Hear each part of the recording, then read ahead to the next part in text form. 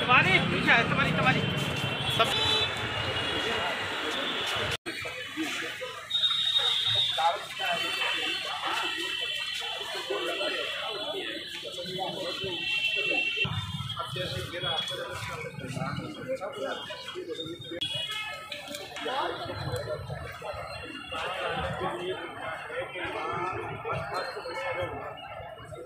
लोग देख रहे हैं जो स्मार्ट सिटी के तहत जो कार्य यहाँ चल रहे हैं क्योंकि इस महाराज बाड़े की सुंदरता के लिए आ, हमारे केंद्रीय मंत्री श्रीमंत माधव श्रीमंत ज्योतिरादित्य सिंधिया जी बहुत तीव्र गति से इस शहर की सुंदरता के लिए विकास के लिए लगे हुए हैं। तो उन्हीं के मार्गदर्शन में उन्होंने एक टीम बनाई थी निरीक्षण के लिए कि क्या काम इनकी गति कैसे और जल्दी आगे बढ़े। तो वो देखने के लिए हम लोग आज आए हैं, माननीय मंत्री जी हैं, प्रद्युम्न सिंह जी और और भी पार्षदगण हैं, जनप्रतिनिधि उनके साथ में। पार्किंग के काम को भी देखा जो है, क्योंकि तो पार्किंग का काम स्लो चलने की बातें पर जितनी गहराई से नीचे से उसका काम चल रहा है, जितनी मजबूती के साथ में तो उसमें समय लग रहा है। फिर भी अभी माननीय मंत्री जी ने भी निर्देश दिए हैं कि काम जल्दी, शीघ्रता से हो। तो शायद काम गति अब आगे और पकड़ेगा क्योंकि एक सोचा कि शहर को कैसे स्वच्छ और सुंदर बनाया जाए, शहर चाहे अजीरा हो तानसेन के मकबरे की बात हो ऐसे सारे क्षेत्र अब जो अपना जो है पुराना जो छापा खाना था, इसका भी सौंदर्यीकरण का काम चल रहा है।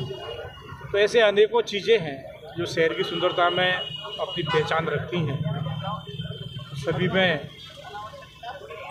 सौंदर्यीकरण का कार्यक्रम ये चालू है और जल्दी से जल्दी ये शहर, महाराजवाड़ा सहित सभी पूरे ग्वालियर शहर के जो जनमानस के घूमने के, आने के, बाज़ार के क्षेत्र हैं, सुंदर दिखें, सुंदर लगें, क्योंकि तो बाहर विदेशी लोगों का भी रुझान पहले की तरह इस ग्वालियर के प्रति बढ़े।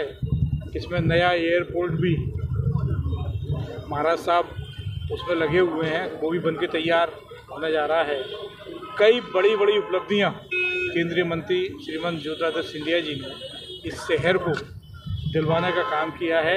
एक सबसे बड़ा काम इस पूरे भारत में एक दिव्यांगजनों का जो स्टेडियम बलगड़ा की तरफ़ बना है, पूरे भारत में केवल एकमात्र है तो निचले स्तर तक के भी, पीछे की लाइन में जो व्यक्ति है, उसके भी उत्थान का काम, उसके उन्नयन का काम पे नज़र हमारे महाराज साहब की है।